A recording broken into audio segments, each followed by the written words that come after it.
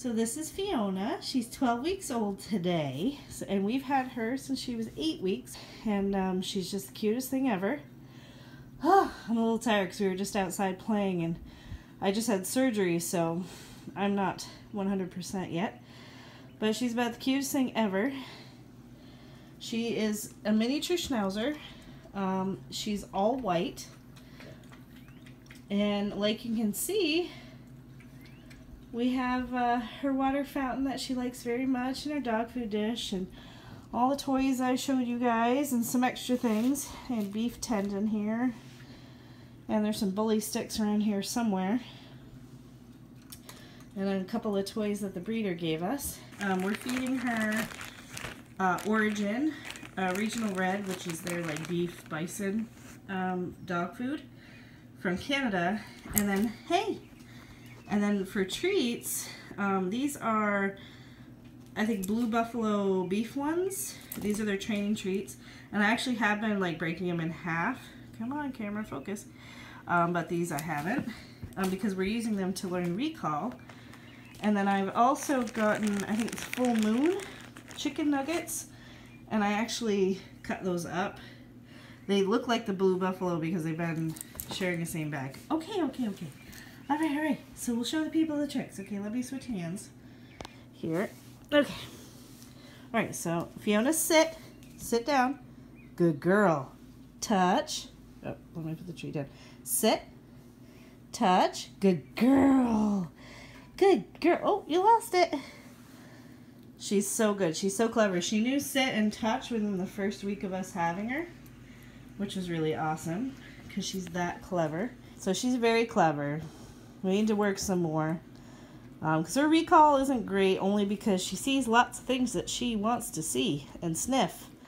And play with her uh, brother and sister next door, the Westie and the Schnauzer, that you will see in uh, footage later on. My mom has a eight-year-old Westie female who loves Fiona and a 12-year-old miniature Schnauzer, but he's a salt and pepper. Schnauzer, like, she's white, so she'll be like him, but she'll be a lot smaller than he is. He's actually pretty big for a mini Schnauzer. I know, I don't have any more. I don't have any more treats. I know, it's the worst. Actually, I do, but um, she doesn't need any more because she just had a lot. Right? You should have some dog food. But she's sleeping through the night. She's been sleeping through the night now for like a week and a half pretty much two weeks. She's been sleeping through the night. And uh, she's tired. She wants to get up on the sofa and lay down. She's not quite big enough to get on the sofa or the bed yet on her own. Um, but she's a big girl and has been doing the stairs, which is great because I had my gallbladder removed, so I can't really pick things up. I'm not supposed to pick her up. And she's definitely over that five pound limit now.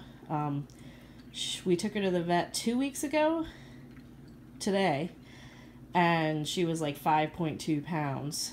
And then the week before that, we took her because we thought that she might have had a UTI, and she was like 4.7 pounds. So she like gained half a pound in a week. so I'm pretty sure she's over that five pound threshold, like way over it. So I still shouldn't be picking her up, but I am. But that's pretty much the only thing I pick up and that's only to help her on the sofa and uh, on the bed. She's crate trained, like I said, she sleeps in her crate all night, no crying. She's a very good girl. See, she wants up on the sofa, but she's not quite big enough, and uh, which is great. So we're getting actual full night sleep. Usually about 7:30, she conks out for the for the night. She's done.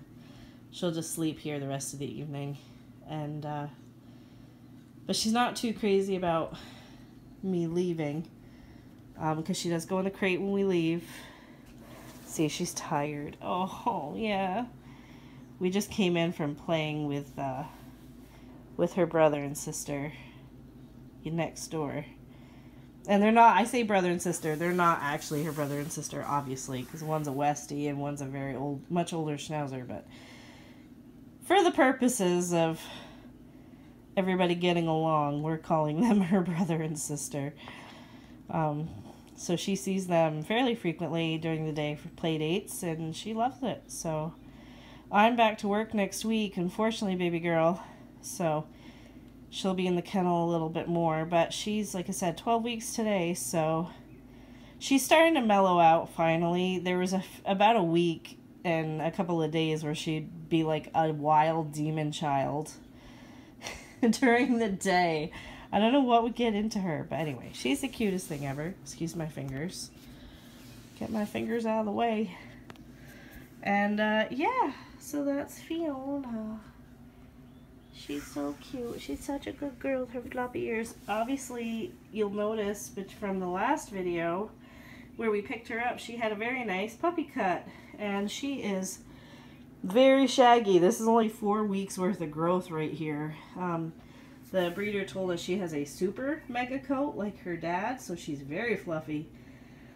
So she has her, well, technically her second grooming visit next Saturday, um, the 20, was it the 27th, I think? Um, because she's getting really shaggy. Um, yeah. And it's to be time to do her ears and her, her feet, even though I trimmed her feet two weeks ago the hair in between her pads is already pretty much grown in, so anyway, there's our baby girl. Up more updates to come, but she's pretty darn cute and very clever. So we'll see you guys next time. Bye.